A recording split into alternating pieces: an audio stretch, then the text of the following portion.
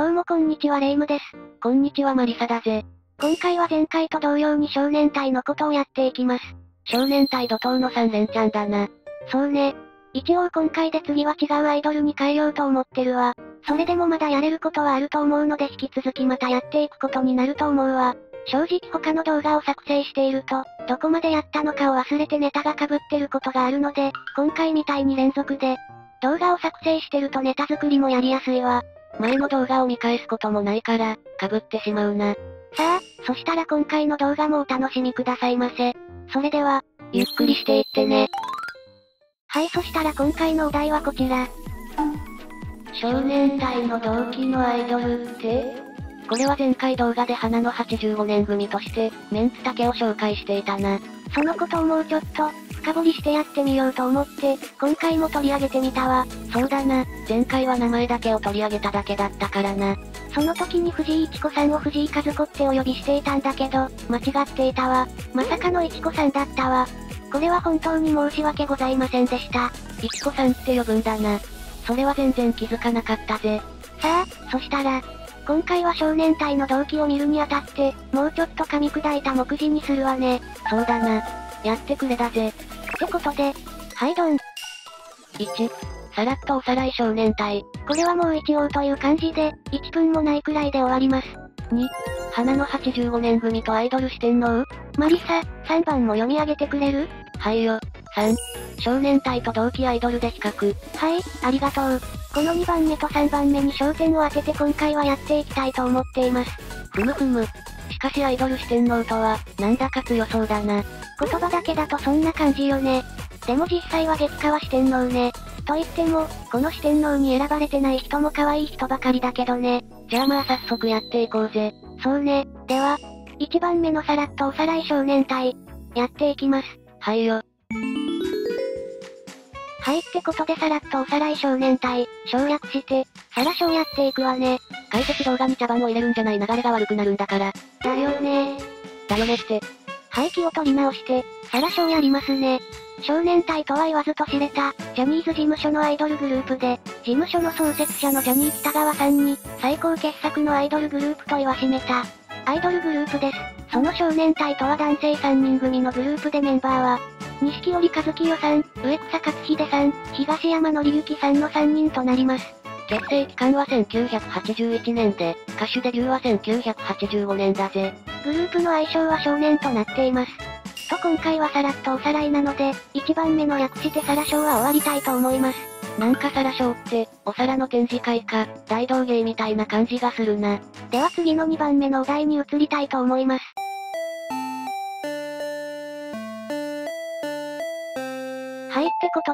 番目の花の85年組とアイドル四天王？をやっていきます。な、なんかコンビニ？ここはコンビニなのか？しかも BGM が昭和初期すぎる店だな。ちょっと買い物ついでに、コンビニで解説していくわね。ざ、斬新。斬新すぎる。しかし BGM が少し気になるわね。ってことで変えようかな。帰るの？てか帰れるの？うん、大丈夫よ。ちょっと待っててね。よし、じゃあやっていこう。え？あれ？いつものように突っ込みどころが多いな。パソコンで自分で BGM は変えるわ。レイムの見た目が変わっちゃってるし。さあ、もう茶番を挟むと解説のテンポが悪くなって、視聴しづらいからもうやっていくわね。それを分かっていてやっていくスタイル、それでこそレイムだぜ。2番、花の85年組とアイドル四天王？ということで、まずは花の85年組とは何ぞやってことを解説していきます。うむ。花の〇〇年組というのは、その年にデビューしたアイドルがよく売れた、ヒットした人が多い年に名付けられたりします。有名なのでは82年組があります。中森明菜、小泉京子、ジャニーズでは渋垣隊などそうそうたるメンバーとなっています。ちなみに花の〇〇年組とは逆の、作の83年組というのも存在してしまうぜ。森尾由美さん松本明子さんなどが、83年組にはいます。この辺のことも機会があれば取り上げていきたいと思っています。さあそんな花のシリーズなんですが、有名なのが先ほど言った82年組です。ですがそれに匹敵するほどのメンツが、85年組にはいます。メンツとしては前回の動画でお伝えした通りとなっています。気になった人は前の動画を見てほしいぜ。さあ、そんなそうそうたるメンツの85年組ですが、その中でもアイドル四天王と呼ばれる4人のアイドルたちがいます。四天王というのは、サンスクリット語で主にインド、南アジア、東南アジアの一部で用いられた古代語。そんな四天王は、仏教観における趣味線中腹にある四天王殿の四方にて仏法僧を守護している四神東方の時刻天、南方の増長天、西方の項目天、北方の多聞天一、四大王子大王ともいう六翼天の第一天、四大王終天四王空の主、趣味線頂上の上と四天通り天に住む大借天に使え、八平二州を所属支配し、その中腹で共に仏法を守護する。趣味の四州は東正海州東小新州、南天部州南天部州、西牛下州西五家州、北区州北区州を守護し、上と四天主大借天の外神である。この天に住む者の身長は半吉神、寿命は500歳で、その一中は人間界の50年に相当する。とまだまだ途中ではありますが、四天王とは早くから日本でも信仰されていたんだぜ。あ、あれ？周りが真っ暗だぜ放送事故か？あ、あの急にすごいんですけど、その情報は全くいらないです。はいまたしてもやってしまいました。流れをぶった切っちゃいます。ってことで、編集再スタート。はいどん。さあ、そんな徳川四天王には誰がいるのか？やっていきます。まず最初はやっぱりゲームなんかでも最強の本田忠勝だよな。歴女なんてブームもあったくらいで誰もが知ってるぜ。よし、真面目にやろう。そ、そうだな。真面目が一番や。アイドル四天王とは、浅香唯、工藤静香、中山美穂、南野陽子の4人のことを指します。この4人以外でも斎藤由貴さんや本田美奈子さんなどもいるぜ。この4人に関してはウプ主もリアルタイムで記憶に残っているみたいです。浅香唯さんの CC がある。中山美穂さんはワックワックさせてよ南野陽子さんでは吐息でネット。なんでミポリンだけ歌ったんだ。工藤静香さんでは、顔の周りを縦横に手をする振り付け。あ、宮尾進さんみたいなやつな。といった感じで記憶に残ってるみたいですね。さあ、このアイドル四天王を含め85年組と少年隊をいろんな観点から比較していきたかったのですが、それをやるには尺がかなりの長尺になりそうなのが、この時点で確定しているので、今回はアイドル四天王をもうちょっとだけして今回は動画を終わりたいと思います。今回で一旦少年隊を終えて、違う人物の動画を作成しようと思ってたんだが、予想以上に尺を取られてしまうぜ。いらぬ茶番もあるとは思うんですが、解説するには結構な文字数がいるので、普通に時間を取ってしまいます。なのでもう一回少年隊で動画を作成しようと思います。あと隠れた名曲とかの動画も作成しようと思ってます。ですが、それはちょっと後回しになりそうではあります。コメントで、チェッカーズとか SMAP、 CHA-CHA と他にもリクエストがあったりするのも、やりたいなとは思ってますが、いかんせん、動画1本作成するのには予想だにしないぐらいの時間がかかります。本当に申し訳ないのですが、気長に待ってもらえるとありがたいぜ。情報収集、サムネ、動画編集、動画のエンコード、動画のアップした時のいろんな設定。結構時間がかかってしまいます。あと、大変な動画作成をやり終えた後の気力回復にも少し時間がかかります。うん。間違いない。連続で作成していける人は気力がやばすぎるぜ。さあそしたら、ここからはこの2点のことを解説していって終わりにしたいと思います。アイドル四天王とは先ほどお伝えした、浅香唯、工藤静香、中山美穂、南野陽子の4人なんですが、このアイドル四天王という名称はもちろんデビュー当時に付けられたわけではないです。まあそうだな。花のなんちゃらも後で結果が出てからじゃないとつけれないからな。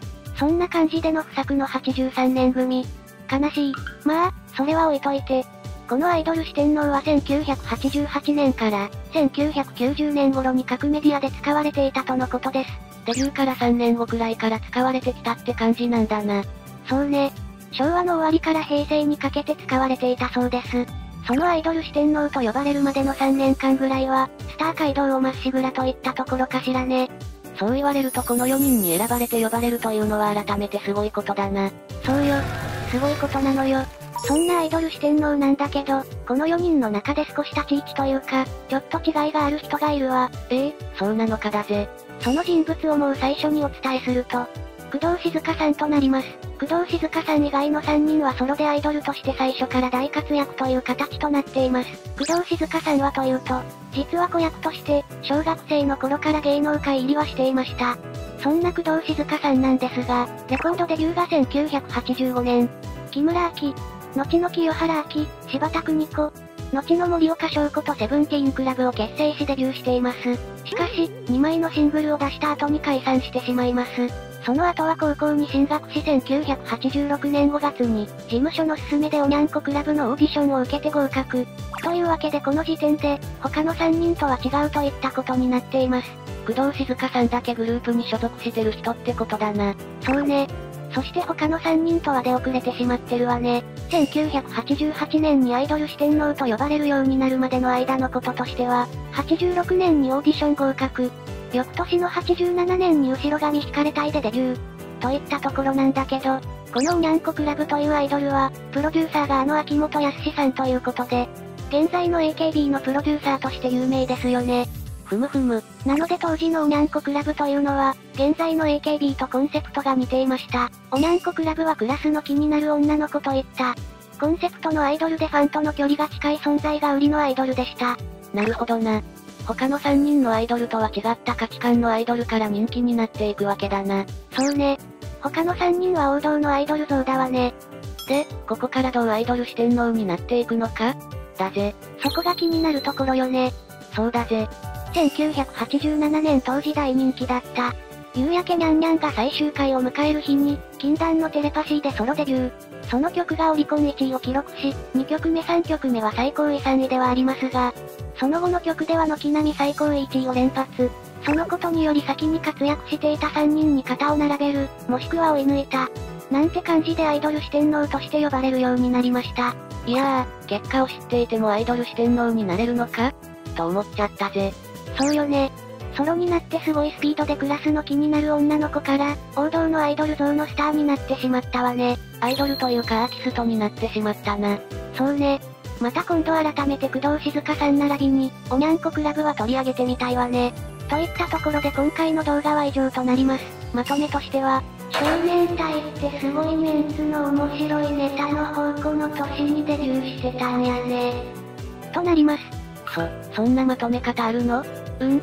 途中で少年隊との比較解説を尺の関係上でできなくなったのはそういうことってことで。基本的にはこんな盛りだくさんなネタになりそうなやつを伏線で扱うのには無理があったな。マリサいいこと言うわねその通りね。ってことで今回できなかったことを次にやりたいと思います。さあ、また今から色々考えないとダメだぜ。そうね。考えるのも大変だし、編集も大変だしでこんな苦労してまで、なぜに報酬をくれないのだ。ま、まあ YouTube は甘くないってことだぜ。さあ、そしたら今回はここまでとなります。次の動画作成をしなくちゃ。ってことで、ここまでご視聴ありがとうございました。